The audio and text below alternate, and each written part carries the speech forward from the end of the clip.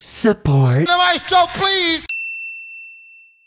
Last record rundown of February, and well, it's an interesting one. You'll see why. This will be for the week of February 24th, 2024. On day in music back in 1940, the original version of This Land Is Your Land by Woody Guthrie would be written, a satire of Irving Berlin's God Bless America, hence its original name, God Blessed America. Also good to note, the actual line, This Land Was Made for You and Me, is actually not in this first version. Obviously, he would rewrite it in 1944, and it would be popularized in the 1960s by one Bob Dylan.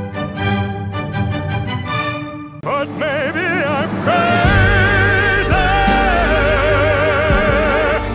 Maybe you're The 20th anniversary album celebrating two decades of classical crossover vocal group Il Divo. Like a lot of their music, it's operatic or classical versions of a lot of pop songs. There's Ed Sheeran on here, there's Luis Fonsi, and obviously Gnarls Barkley. Don't mean a thing That's two months now with no new jazz stuff. Hopefully, March gives us something. Singing. Also, has been pretty slow for rock so far, given we had that new Green Day album we talked about, and of course, that Grateful Dead live album.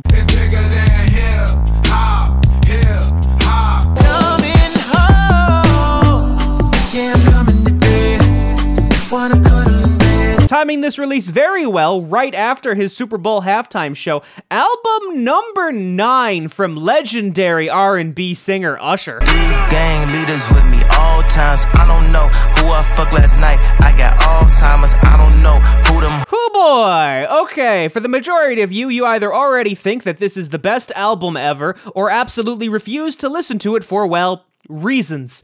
For the few of you who are still on the fence or don't even know about this, honestly, I do not think it's worth the effort to actually unpack all the context around this and the artist to actually enjoy the album in the first place.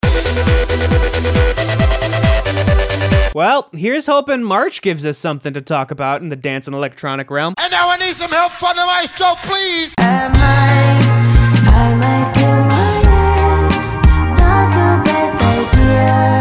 Has gone three times platinum, and deservingly so, I say. I know that last night we let the liquor talk. I can't remember everything we said. Is he still touring for this? Yeah, he's still touring for this. April 4th, Indianapolis, I guess is the next show.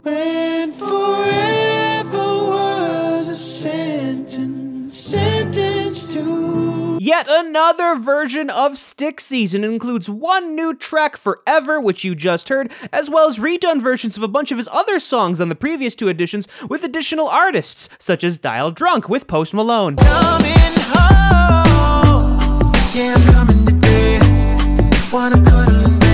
Getting all the way to number two, not bad for his first independent album, given it is Usher. Gang leaders with me all times. I don't know who I fucked last night. I got Alzheimer's. I don't know who them I don't even know how to say the name of the supergroup between Kanye West and Ty Dolla Sign. It's just the yen symbol and the dollar symbol. Is it yen money? Yen dollars? YS? How do I say this? I guess we were a little light on the albums this month, but I guess that's not entirely unusual. Regardless, it is the end of the month, so you know what comes out next week. And now I need some help from the maestro, please.